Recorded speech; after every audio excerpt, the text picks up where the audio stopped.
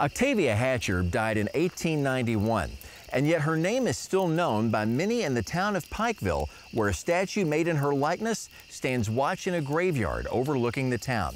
The story of Octavia's tragic death, being buried alive, has been a popular urban legend in Pikeville for decades. But how much of this story is fact and how much is fiction? We asked a series of local historians and researchers to weigh in.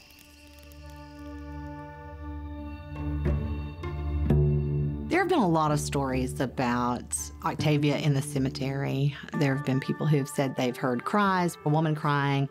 There are a lot of people still today who won't go to the cemetery, especially at night. Octavia Hatcher passed away in 1891. And Pikeville was a very, very small town in 1891. It was 1889 when the school first came in. And at that time, Pikeville was very big in timber. Coal wasn't even really a consideration at the time. So, very small, very rural, kind of the perfect setting for this type of ghost story. So, this is the legend of what happened with Octavia Hatcher. Octavia was born to Jacob Smith, who was one of the early founders of Pikeville. Uh, so he was a prominent businessman in town, so they came from a very wealthy background. Octavia was born outside of Pikeville, probably came here for education, as most of the people of means would have done at that time. She was a very beautiful, striking figure from a wealthy family, so I'm sure she was very popular. Her dad was a merchant, and as, as common, you run in the same circles. And she met and she married James Hatcher. James was a business partner of Jacob Smith. He worked pretty closely with her father, and then he branched off into different industries. He was a wild type of guy. He would do just about anything. Whatever idea struck him, he was going to do it. But a lot of the big things that happened with him, a lot of the expansive story that comes around him, happened after Octavia passed away. So at the point that we're with Octavia, he's just he's just beginning. They got married when Octavia was 18 years old and he was 30. That was in 1889, not unheard of for that time. And I think James was deeply in love with her. Shortly afterwards, she gets pregnant. Everybody's excited. Everybody, uh, especially Octavia, she was probably the most excited.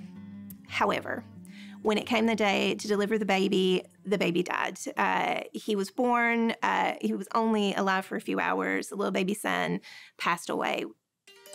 Octavia didn't take it well. She took to the bed, she was lethargic, she was devastated.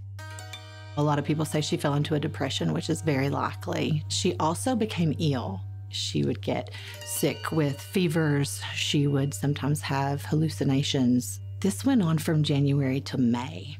So she suffered after the death of her child for several months.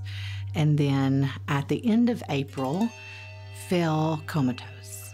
And on May 2nd, she was declared dead.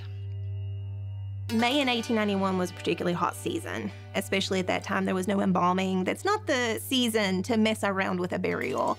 So they buried her. It was shortly thereafter, though, that they started noticing that there were other people in the community that were slipping into comas, and everybody was going down. The difference, sort of, is that they were coming back out that led to James Hatcher getting very, very worried because while uh, there had been extenuating circumstances, Octavia had done the exact same thing.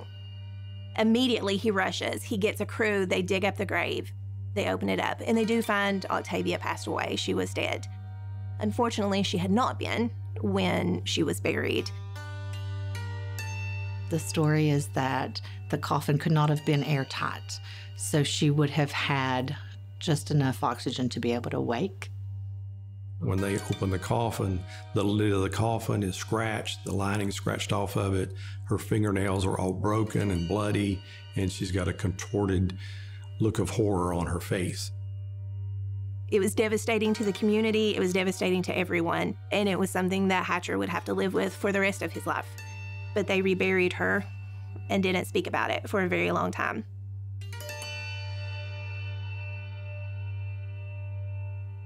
James Hatcher was a very eccentric man. And again, he was a very prominent leader in the community. He was very wealthy, but he never got over Octavia. She's buried just above the town, looking down where he builds a hotel. He builds his room at the hotel looking up at her grave and has a statue made of her. So anytime he wants to look up there, he can see her. It's kind of, I guess, the guilt overwhelming him of has caused him to do all this. Except Octavia didn't take kindly to that, right? Why would you? Everybody else gets to live and she does not. So periodically you can hear crying and you can hear weeping from a lady who has seen devastating loss and also lost her own life in a horrific fashion.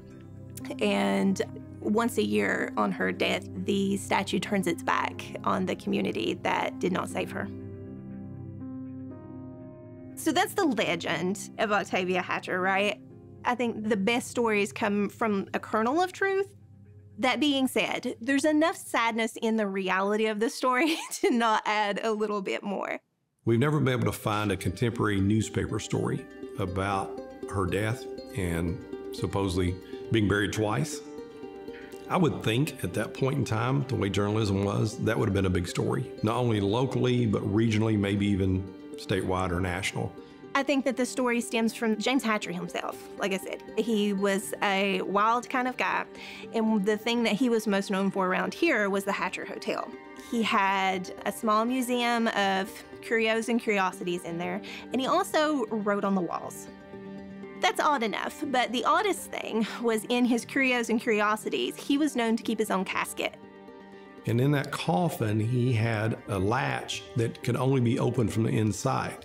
So when he died and they locked him from the outside, he would have a way in case he woke up to get out of that. There doesn't seem to be any reference to Octavia Hatcher until the story of his casket starts coming out. It's almost like there's a connection between the casket and the idea of why does this man feel the need to have a casket to get out of. So there's no concrete proof that she was buried alive, but there's a lot of circumstantial evidence that says that she wasn't. That's the interesting thing about a story, right? The story becomes more important than the people involved in the story. And her truly sad story, coupled with her very eccentric widow, has made for a story that has held the test of time. Hey everybody, I'm your host Chip Polston from Kentucky Life. Now, let's say you like that story and you'd like to explore more that we have to offer. All you have to do is hit that subscribe button right on the screen.